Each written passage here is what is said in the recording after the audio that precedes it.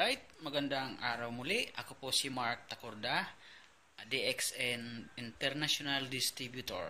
Okay, so bibigyan ko ngayon ng konting idea about at sa ating uh, organic toothpaste. So, organic toothpaste po natin, ang pangalan ay Ganoshi Ganoshi Toothpaste. Yan po, ano? So, Obat GG, Malaysian language po siya. Yan. So, Ganoshi Toothpaste. So, yung ganun toothpaste naman, ay bibigyan ko kayo ng idea bakit kinagamit namin at habang buhay namin gagamitin at bakit mo rin gugustuhin na gamitin ito dahil ito po ay kakaiba kung ikumpara mo po sa toothpaste sa labas.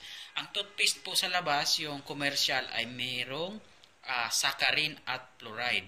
Yung fluoride po ay delikado. So kaya nga po ba may mga bone cancer, may nakukuba agad, bata pa kuba na.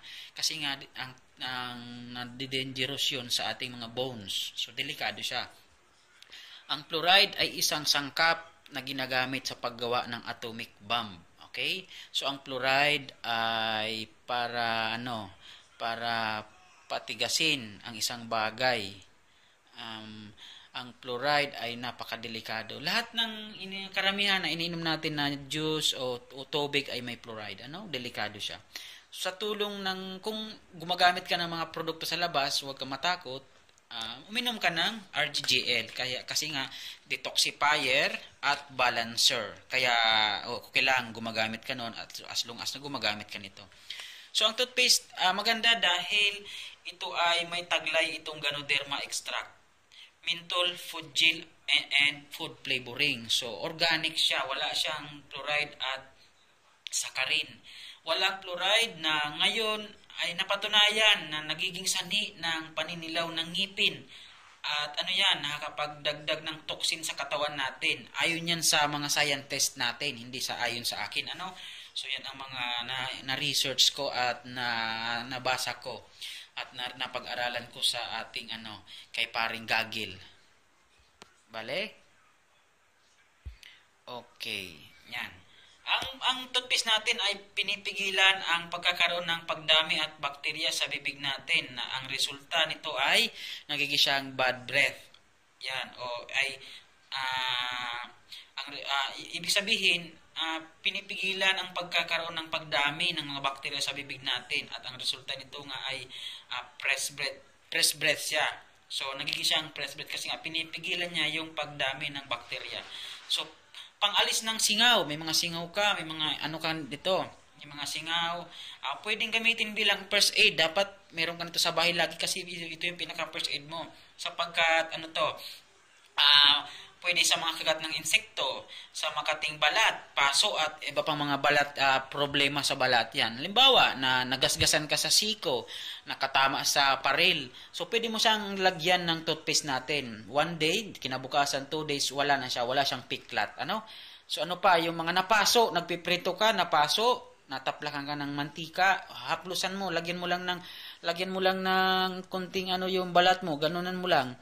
So, mawawala yung piklat o hindi siya magkakaroon ng piklat. Nasugat, na, nahiwa ka ng kutsilyo, lagyan mo ng toothpaste natin. So, one day, two days, mag-heal yung sugat na yon So, wala siyang piklat. Ano pa? Basta wag na yung piklat na yung talaga na piklat na. Kailangan yung nagsus nasugat, tapos habang naghihilom siya, naghihil, so lalagyan mo na siya ng toothpaste. E kung toothpaste magaling, how much more yung ating king of herbs o pure ganoderma. Ano? Mas magaling siya sa madaling sabi. Toothpaste pa lang pinag pinag natin. Meron kang ano uh, uh, for external external use, pwede yan sa may mga almoranas o sa may mga problema. So lagyan mo lang ng peanut size itong ating ano, ilag ipunas mo lang sa ating puwet. So at the same time, internal, iminom ka ng RGGL at spirulina for internal. So ano? Yan ang ating toothpaste. Napakaganda siya gamitin.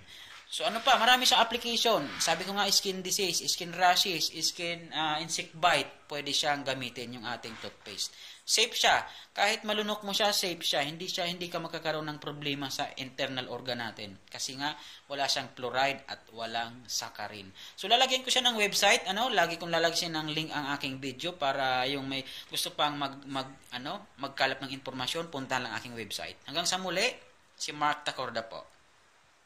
Puntahan lang yung aking website www.marktakorda.net forward slash DXN. Okay?